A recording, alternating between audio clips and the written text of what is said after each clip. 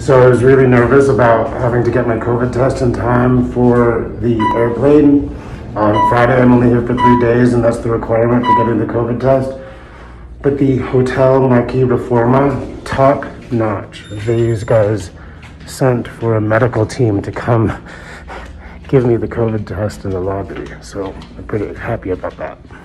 Okay, so I got my test results back.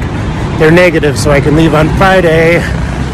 So that's a little relief. Now I can focus on finding galleries and artists to interview. I have an interview tomorrow at 11 o'clock with the director of the Soumaya Museum. And then um, I don't think I'm going to get an interview with Jumex. She's at some sort of expo.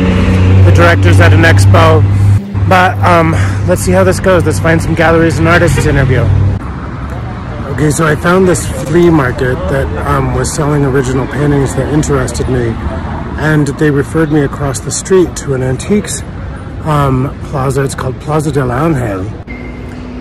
It's an antiques dealership. It's an entire like plaza. It's a whole sort of um, network of uh, antiques. And there's an artist named Carlos Palestor that they're sending, selling at a flea market across the street. And I was asking if the guy has any reputation. And they said, go next door, go to this antiques marketplace, wherever we're at, and um, find out about this guy. So I'm, I'm, waiting to see if I can interview someone about Carlos Palestor and like how to uh, guarantee provenance of an original piece if you're buying from a flea market. Well, I just got kicked out because I can't take photos or videos inside of that place because of the antiquities so I guess I'm supposed to come back in 15 minutes and try to talk to the administrator. Bye. Man, it's really hard to get interviews with galleries around here. Number one, I can't find them. Number two, they don't really respond.